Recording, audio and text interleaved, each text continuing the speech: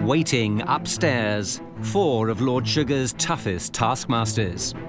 Publishing pioneer Mike Soutar has a gift for getting at the truth behind the headline.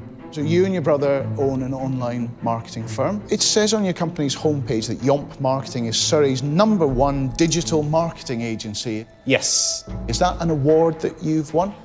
Part, I'm part of a business networking breakfast group. That's had a poll of which was the best marketing agency within that networking group. So from a chat around a breakfast It's table, not good enough. you're the number one It's, it, it's not good enough. Yeah, that's, that's my mistake. That just appears like more than just a sloppy mistake. It appears to me to be misleading. Exposing the people behind the plans. Managing director of a billion pound media agency, Claudine Collins. Why does Lord Sugar call you Valentino? Because my surname's Valente, the Italian, and then I'm a bit of a romancer. Are you? I like to think so. Lord Sugar's new recruit, no nonsense Linda Plant, owner of an international interior design company, here to test who's tough enough to get to the top.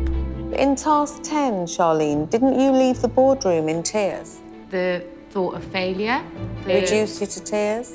It did. But how are you going to behave running a multi million pound organisation? Gonna cry? And finally, returning to rake through the business plans, Lord Sugar's right hand man, Claude Littner. So, do you want me to give you a little bit of background about why I know there's an opportunity? Because obviously, that's going to be your first question. Why don't you let me ask the first question rather than predicting it?